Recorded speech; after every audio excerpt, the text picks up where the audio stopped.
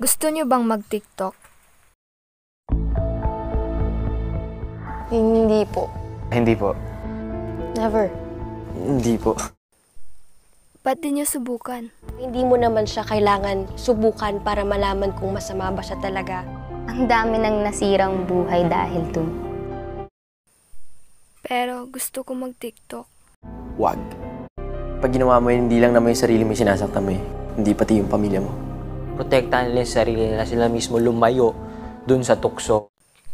Ah, okay. So, kung ganon, ano ang masasabi niyo sa mga taong gustong mag-TikTok?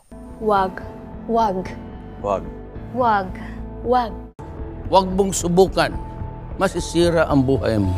At sa huli, ang bayan.